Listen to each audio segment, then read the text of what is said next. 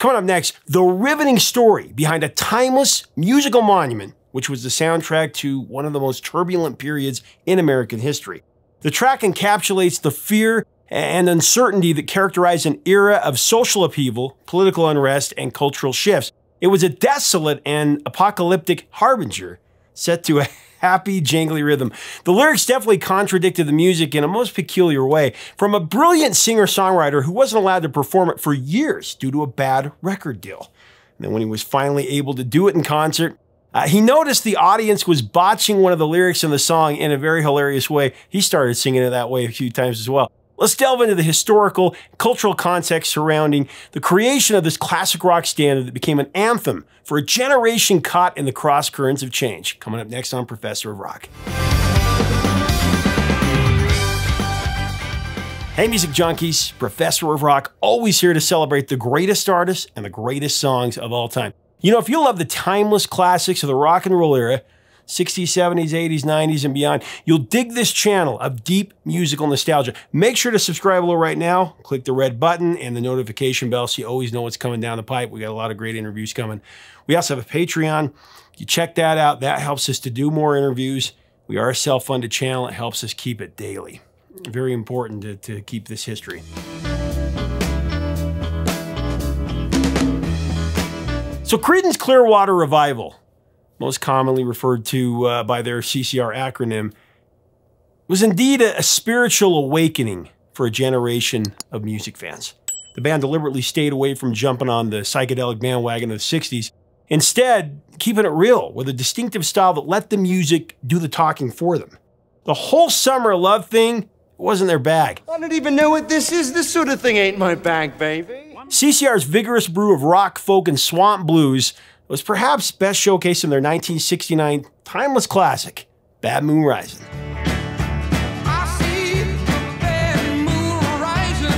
CCR, led by the strong willed frontman, John Fogerty, of course, they broke out in the late 60s, one of the most tumultuous periods in American history. President John F. Kennedy was assassinated in 1963. Then, three years later, an assassin's bullet took the life of Dr. Martin Luther King. Then, just two months after that, Robert Kennedy was shot. And then you have the Vietnam War dividing the country and uh, disrupting virtually the entire planet. The atmosphere, it was ominous. And John Fogerty, he was feeling it. CCR, they started strong. Their debut single in 68, cover of the Dale Hawkins rockabilly tune, uh, Susie Q, it was a solid hit that narrowly missed the top 10. It peaked at number 11 on the Billboard Hot 100.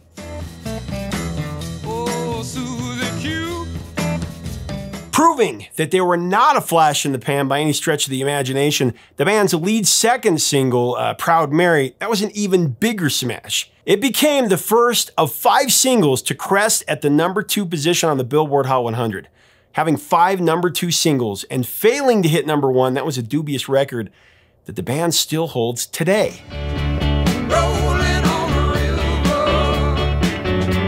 The band's second number two single was Bad Moon Rising a 2 minute and 21 second fire and brimstone prophecy about an impending apocalypse rock and roll written by a rock and roll seer, John Fogerty.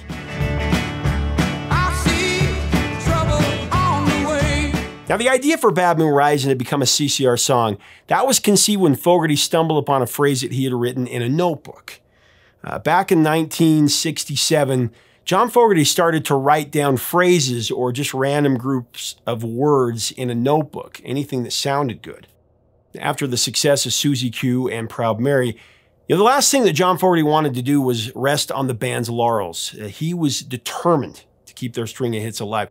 Fogerty's biggest worry was that the group would fall flat on their faces. So just when Proud Mary was thriving on the radio, uh, Fogerty knew that he had to look ahead and write the next hit for this band. Fogerty turned to his book of phrases, you know, that he sounded like a good title for a song, and he saw it right there. He had written down Bad Moon Rising. He's like, that's it. That's what I got to call this song.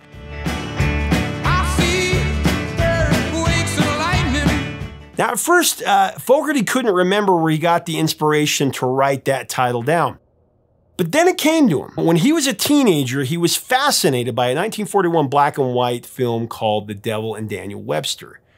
Now, the plot of The Devil and Daniel Webster is centered in a rural community in 19th century New Hampshire. The protagonist is a poor, kind-hearted farmer named Jabez Stone. Although Stone is a hardworking man, beloved by his neighbors, he's constantly broke and he's cursed by bad luck. After a chain of setbacks, Stone hits rock bottom and exasperatedly declares that he would sell his own soul to the devil for just two cents.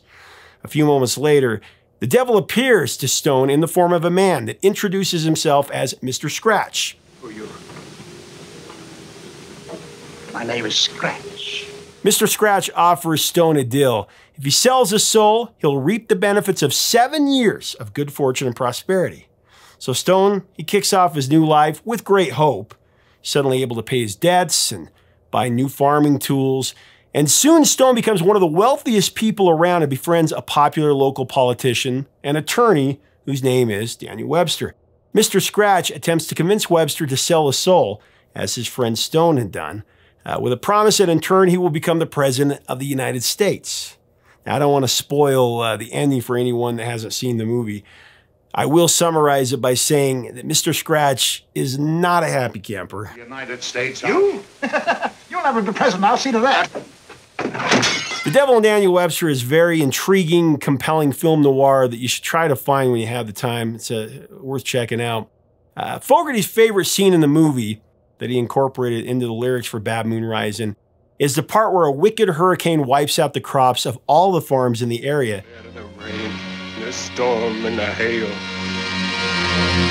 But it miraculously skips over the cornfields owned by Stone.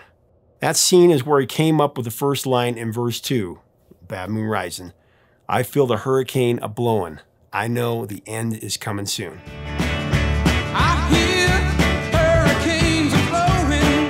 So the role of Jabez Stone, that was portrayed by James Craig, who originally went by the name James Mead. Because of his uh, striking similarities to cinema superstar Clark Gable, Craig had a brief stint as a leading man for MGM back in the day. Besides The Devil and Daniel Webster, Craig starred in the films Kitty Foyle in 1940 and The Human Comedy in 1943, for those of you that want to know. Why haven't you married one of those guys? Actually, one of his last roles was a performance in the made for TV sci fi Doomsday Machine in 72, in which he played uh, Dr. Hayner. Now, shortly after that movie, uh, Craig actually quit the entertainment business and became a real estate agent until his passing. John Fogerty was the undisputed linchpin songwriter for Creedence Clearwater Revival. Uh, he had a very unique approach to writing lyrics. His process could only be classified as mystical. Fogerty would stay up late in the night in his apartment, long after his wife and baby had gone to bed. He'd just sit in the living room, staring at a blank wall to clear his head, and just let his imagination take hold. Mean, you think about it, his writing style was more like a novelist uh, than a songsmith. Reading about it, he couldn't tolerate uh, any noise or he'd lose his concentration. You know, Fogerty jokingly compared his method to a form of transcendental meditation uh, because it came from such a genuine uh, personal place. Now, while CCR was breaking, influential artists like Bob Dylan and the band were turning to folk and country as a neutralizer to the psychedelia movement. CCR, on the other hand, they believed that rock and roll was the heartbeat of the nation. Uh, lyrically, Fogerty songs, they were full of compassion and moral transparency, really brazen sincerity. He didn't specifically call out his subjects, you know, like the Vietnam War, Richard Nixon, but listeners, they knew what he meant. When Fogerty wrote about a bad moon rising, seeing earthquakes, lightning,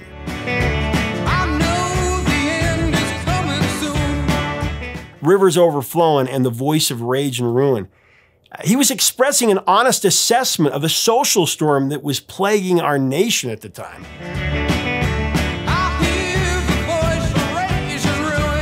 In essence, John Fogerty wrote a dramatic wake up call you know, that we as a people were on a collision course that needed to be changed before it was too late.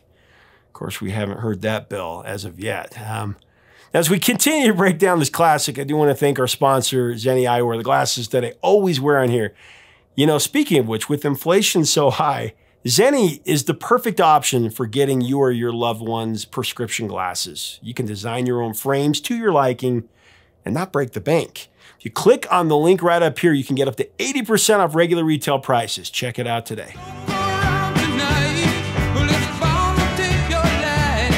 If you subscribe to the zodiac principle that the position of the moon when you were born represents the essence of who you are, then a bad moon rising represents a bad omen for the future. Fogerty expanded the concept of bad moon rising to something catastrophic for mankind. It was about an impending apocalypse, really.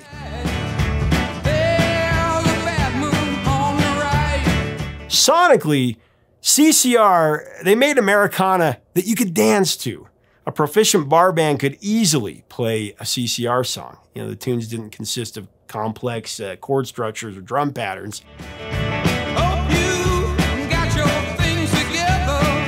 The chords that Fogerty sequenced for the melody of Bad Moon Rising, they didn't fit the doom and gloom theme of the song's lyrics.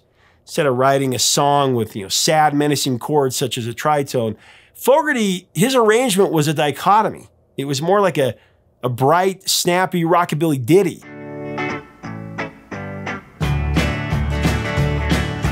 Bad Moon Rising wasn't an original guitar riff really at all, but Fogerty was forthcoming on where he got it from.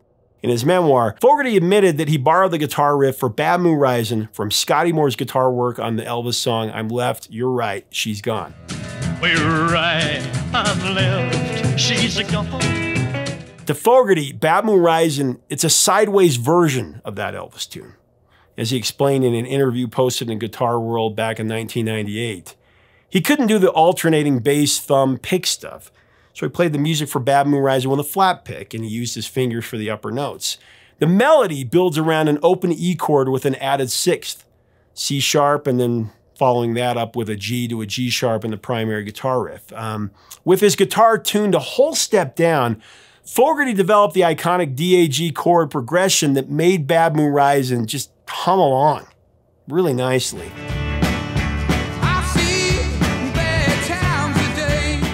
Fogerty was adamant that he never tried to hide the fact that he had lifted this riff, claimed that he wasn't stealing it, he was really honoring it. Now, legend has it that after an award show, uh, it was back in 86, uh, Scotty Moore, Elvis's guitarist, who passed away in 2016, he actually grabbed John Fogerty from behind, whipped him around, and shouted, Hey, give me back my licks.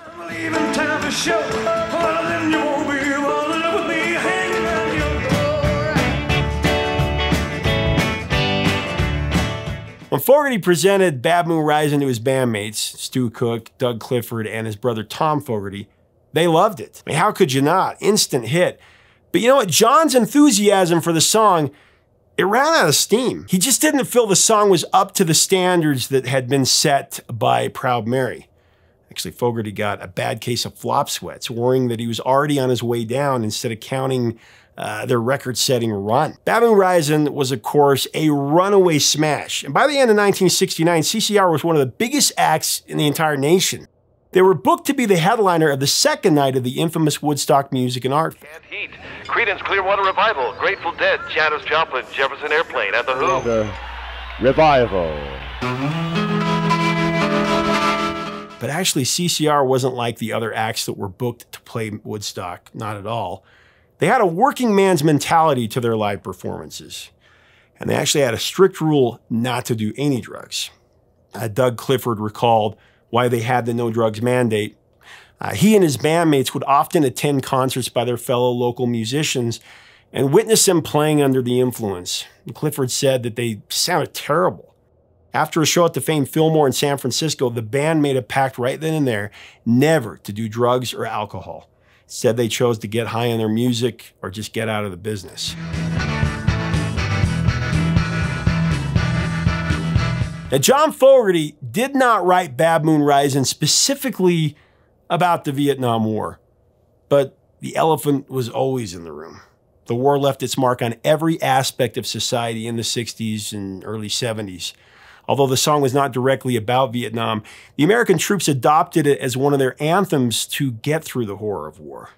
When Fogerty plays the song in his special shows for the survivors of the war, uh, the vets just go crazy.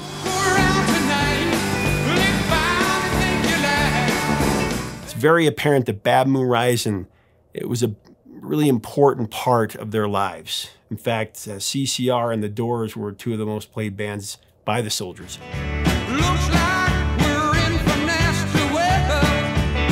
Now, as serious as the lyrical tone for Bad Moon Rising is, there is a comedic element that was created by a misheard lyric in there. Uh, in verse one, the official line is, There's a bad moon on the rise. But it actually sounds like Fogerty's singing, There's a bathroom on the right. Minus a lyric sheet, it's a fact that many, many people sang along or still sing along to the misheard lyric, as if to say, something really bad about to happen. And if you're overcome with fear, there is a bathroom on the right.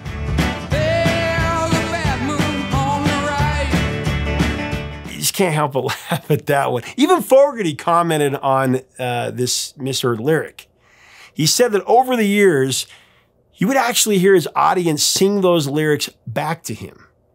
There were actually even a few times where uh, Fogerty sang those lines in concert, of course, tongue in cheek.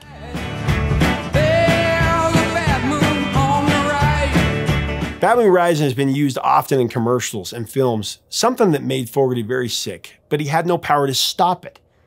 You know, because of being swindled out of the publishing rights of his songs by a crooked manager and label president. That unfortunate chain of events is what ultimately led to the untimely demise of Creedence Clearwater Revival. We talked about it in past episodes.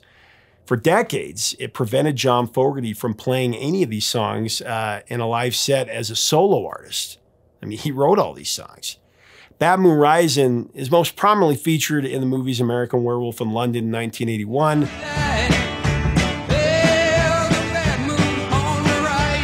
Also Twilight Zone in 82. Toyota used Bad Moon Rising for several heavy TV campaigns in 2022 and 2023. By then, he had gotten his publishing rights back. So after the dissolution of CCR that happened in, uh, I think it was October of 72, John Fogerty did some side projects, uh, most notably under the moniker of the Blue Ridge Rangers, with no mention of Fogerty's name, but for much of the 70s and early 80s, he was very reclusive.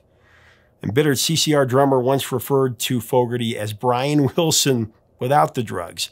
It took the prodding of one Bob Dylan to finally get John Fogerty to relent and play Bad Moon Rising and other CCR songs during his solo tour in 87 after he had uh, gotten through the lawsuit.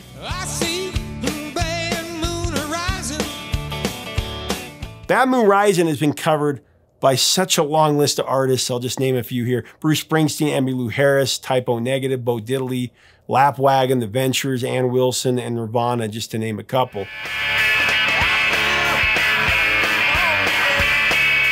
Actually, in 2010, The Killer, Jerry Lee Lewis, spearheaded a superstar collaboration for a version of Bad Moon Rising for his Mean Old Man album.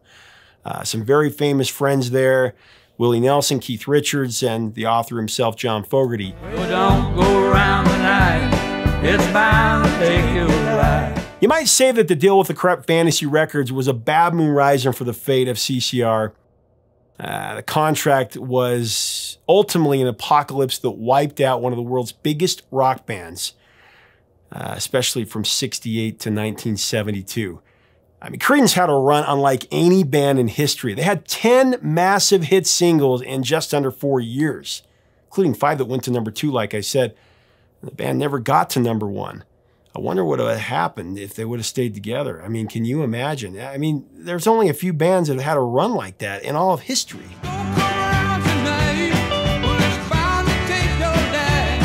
You know, I remember when my dad showed me their greatest hits album, Chronicle. I'm sure all of you have it. Uh, this was when I was a kid. I was probably nine years old.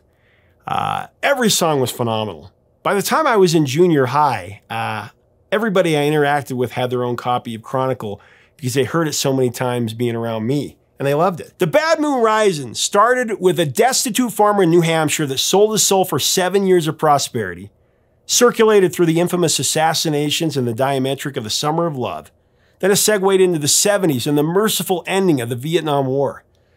Thank goodness there has not been an apocalypse yet something that was prophesied in the Bible in Matthew chapter 24, way before John Fogerty was born to write about this.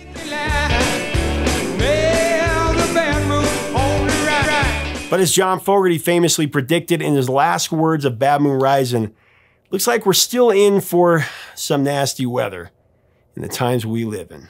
But just remember, there is a bathroom on the right.